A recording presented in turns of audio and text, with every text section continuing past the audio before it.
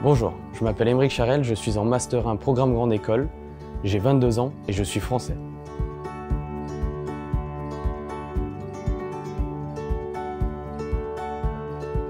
Les consultations ont permis de créer une émulation collective entre les étudiants.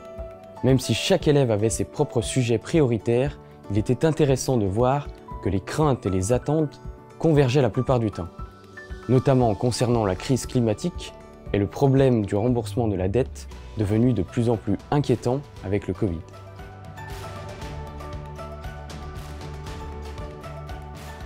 Les sujets qui me préoccupent le plus sont les impacts que peuvent créer les réseaux sociaux sur les plus jeunes et la crise environnementale.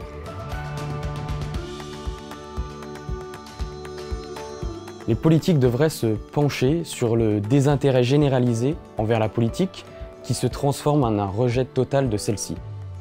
Une réflexion nécessaire est à mener sur la participation citoyenne, notamment celle des jeunes.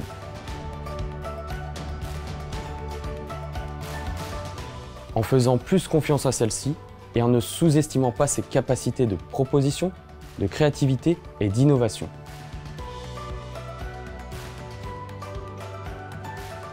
Je ne me sens pas forcément écouté, mais qui aujourd'hui se sent réellement écouté? Même en voulant donner son opinion, si celle-ci déroge de la pensée majoritaire, elle sera vite dénigrée ou mise sous le tapis. Je regrette que les décideurs gouvernent plus selon leur idéologie que selon l'intérêt général, valeur devenue de plus en plus obsolète. Ils donnent l'illusion d'écouter avant chaque élection, puis se détournent de leurs promesses une fois élus. D'où un ras-le-bol général qui se traduit par une abstention de plus en plus grande au cours de chaque scrutin. Est-ce normal à 22 ans de ne plus avoir envie de voter devant la pauvreté des projets politiques présentés?